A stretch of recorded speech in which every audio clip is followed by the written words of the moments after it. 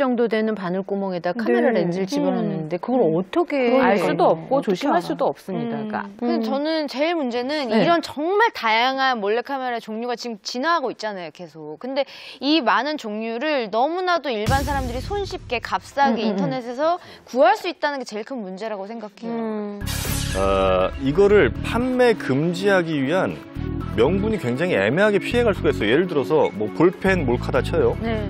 당신이 계약을 하는 데 있어서 어, 사기를 당하지 않으려면 이 모든 것들을 녹화해 놓는 게 좋습니다라는 명분으로 팔게 되면 사실은 이거 막기가 어려워요. 그러니까 이게 내가 살 때 나는 몰카 찍으려고 여성 뭐 치마 속을 찍으려고 산 게 아니에요. 이거는 변호사 만날 때 쓸 겁니다라고 해버리면 이거는 뭐 막기가 어렵다는 거예요. 그러니까 나는 이런 법으로 뭐 어, 어떤 몰카를 판매 금지한다든지 혹은 뭐 가격을 어마어마하게 올린다는 이런 것들은 사실상 실효성이 없다는 거죠. 어, 저는 사 실은 오늘 굉장히 놀래가지고 네. 제가 그동안에 정말 이런 거에 대한 경각심이 없었거든요. 음. 근데 어디선가 나를 찍었을 수도 있겠다는 생각이 들고도 공중 화장실 그냥 막 들어가고 그랬거든요. 네. 그럼 이, 제가 막 예를 들어 음, 이 음, 스카프를 가져온 이유가 제가 이렇게 음. 화장실을 들어갈 때.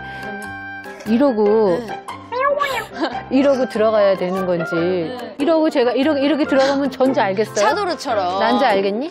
네. 알겠어요. 아 그래요? 저만 봐도 알것 알겠어요. 같아. 난지 알 것 더 같아. 가리셔야 될 것 같아요. 근데 이러고? 그걸 가려도 소용이 없는 게 어차피 중요 부, 중요 부위만 찍을 거기 때문에 그리고 아니 이렇게 왜냐면 그 그거잖아요 여자들이 너무 이런 게 그러니까 음. 왜 화장실에 목욕탕에 불나면 여자들이 몸을 안 가리고 얼굴 가리고 음. 나온다는 우스갯소리가 있잖아요. 그쵸. 그거죠. 찍혀도 얼굴이 안 나오면 그나마 좀 덜 힘드니까 음. 그래서 이렇게 실제로 가리는 경우가 있어요. 얼마 전에 기사화도 됐어요. 네. 여자분들이 이제는 어 이게 몰카가 있을 거라는 생각이 드는데 의심은 음. 되지만 내가 그걸 찾을 방법은 없고 혹시 모르니까 이제 들어갈 때 그냥 대충 이제 옷이나 스카프 같은 걸로 얼굴을 그냥 이렇게 가리고서 들어가는 거예요. 음. 언제 찍힐지 모른다 생각이 있으니까 어. 그 오죽하면 이렇게까지 하겠느냐. 그러니까 뭐 화장실 얘기도 했습니다만 여성분들이 제일 이제 편하게 가는 데가 이제 공중 화장실인데 조심스럽죠. 근데 좀 전에 1mm 구멍을 얘기했지만 더 심각한 거는 변기 안쪽에 구멍이 있는 걸못 왜? 찾아낸다는 거예요. 변기 안쪽에 변기? 안쪽에 예, 이렇게 홈이 들어가 있잖아요. 물 나오는 거. 거기는 절, 왜?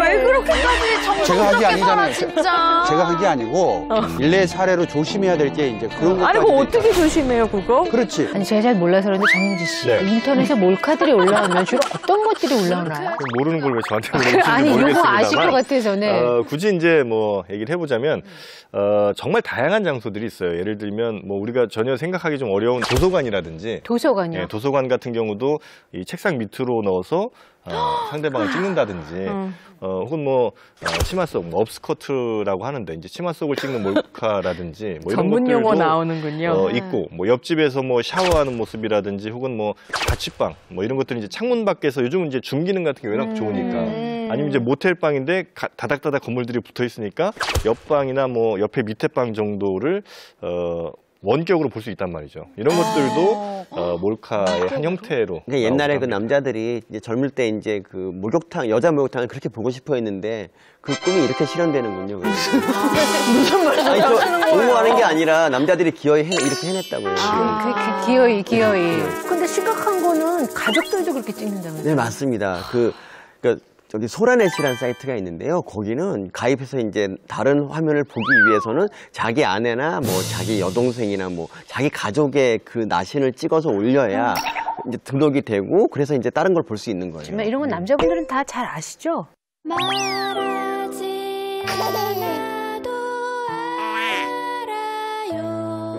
저는 잘 몰라요.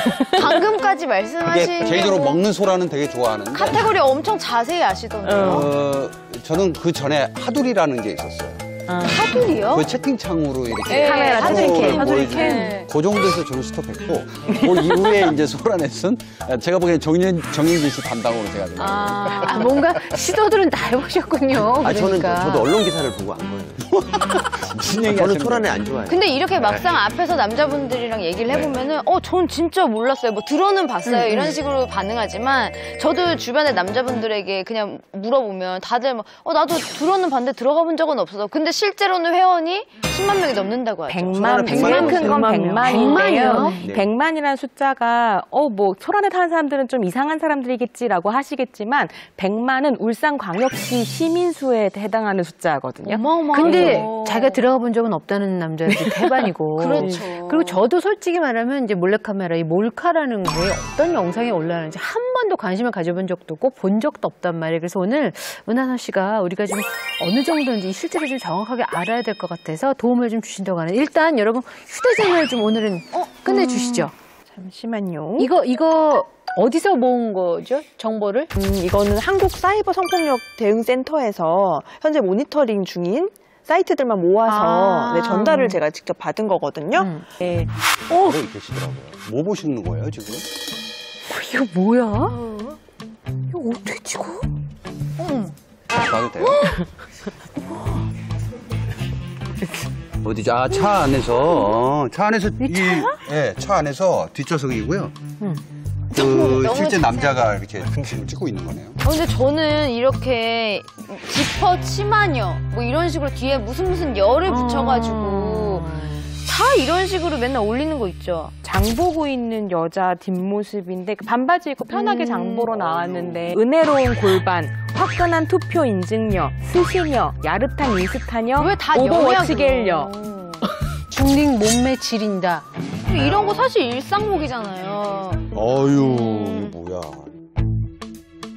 정말 기자님 호기심을 누르지 못하고 보셨어요. 이게 그러니까 지금 저는 이렇게 약간 약간 멘붕이 왔는데 이런 걸 사실 좀 처음 봤거든요. 근데 내 딸이 이럴 수도 있고 내가 그럴 수도 있고 나도 모르는 사이에 찍혀서 예 카톡 계속 오네요. 예. 어 잠깐만요. 뭐지, 이게? 아 지금 어머, 몰카가 유출되었습니다. 어머. 자 몰카가 유출됐다고 나오는데요. 이거 뭐야? 잠깐만요. 잠깐만. 정현정님 아닌가 이거? 정현정님 아닌가 이거? 어머 이거 어디서 많이 본 분들인데 음.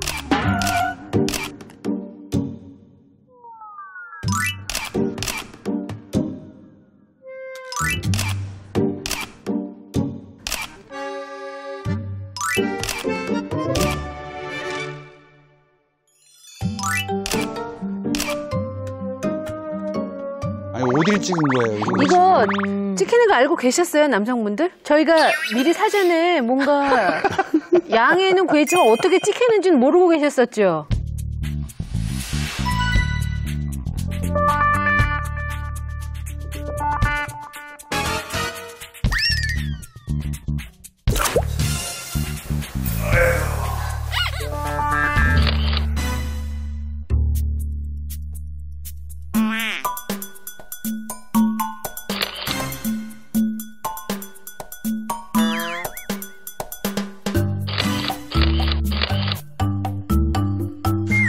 씨왜 이러고 있는 거예요? 그러니까 뭐 하시 요가 하시는 거예요?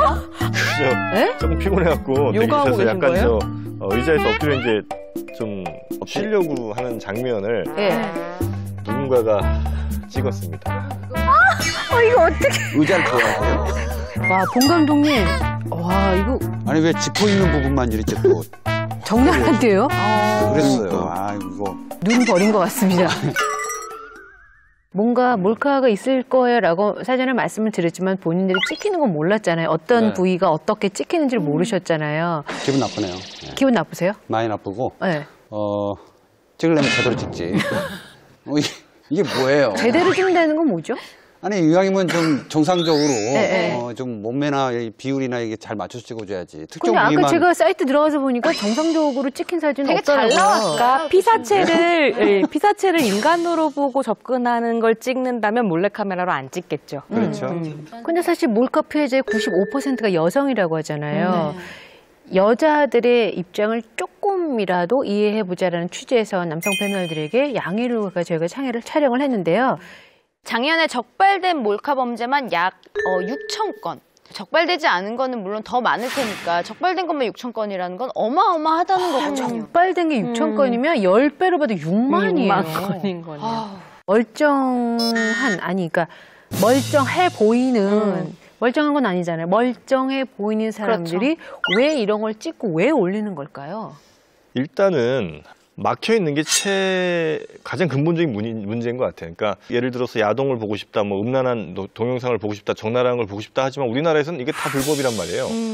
그러니까 자꾸 이런 이상한 영상들에 더 꽂히게 되는 건데 그러지 말고 어, 정말 성인이라면 즐길 수 있는 예를 들면 어떤 뭐 영상 사이트 같은 거에 대한 허가는 해주되 대신 여기에서 벗어나는 뭐 예를 들면 몰카라든지 혹은 뭐 미성년자라든지 이런 어, 특정 안 되는 것들에 대해서는 엄격하게 처벌을 하고 근데 우리나라 말 우리나라 말고 다른 나라에서 포르노가 합법인 나라 합법인 나라에서도 네. 이런 몰카 그리고 리벤지 포르노 이런 것들 존재합니다. 네, 그러니까 기본적으로는 다 있어요. 어느 나라나 다 있는데 그 우리나라에서 그 몰카 범죄가 더 많은 이유가 더 만연된 이유는 기본적으로 성적 욕구를 어, 제한시켜 놓은 상태에서 모두를 다 불법의 영역으로 몰아넣은 것이 가장 이거는- 근본적인 원인이라는 이건 사실상 성적 욕구의 문제가 아니라 그 사람 위에 서서 그 사람의 어떤 것도 내가 볼 수 있다라는 일종의 권력력과 연결되어 있는 것이거든요. 저는 지금 불현듯 생각이 몰래 올리고 그런 데서 더 쾌감을 얻는 거 아니에요? 그러니까 거- 그런데 올리면 대우를 받는다면서요.